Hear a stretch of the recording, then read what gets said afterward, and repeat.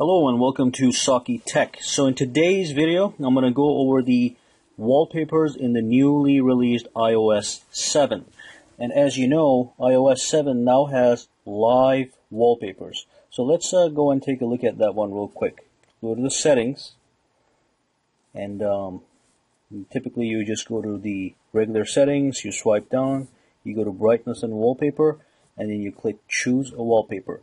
From here, if you look right here, it says dynamic, and here it says stills. So the still wallpapers are non-moving wallpapers, okay?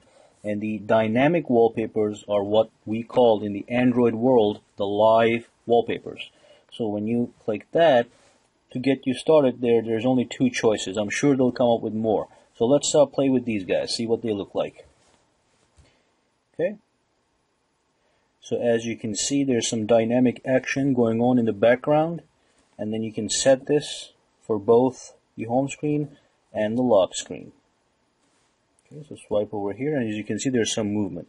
Now, even with the static images, the static backgrounds, you get some kind of effect, which I'm going to show you right now. You actually get a nice sense of dimension. So let's uh, set the background here. Set both. Go to home screen. And if you carefully look on the screen, you will see that the items, the icons are floating on the back image.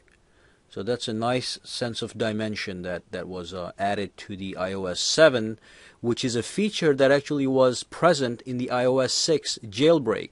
So it looks like iOS 7, Apple implemented that feature, which is a very welcome feature. It gives um, dynamism to the otherwise static iOS 6 and everything before that that we have been used to.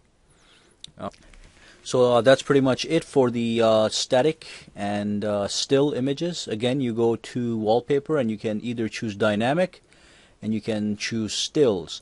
And hopefully, uh, as far as dynamic backgrounds go, we'll have more and more additions by the time iOS 7 is finalized. Well, thanks for watching this video, guys. Uh, subscribe to my channel for more videos to come.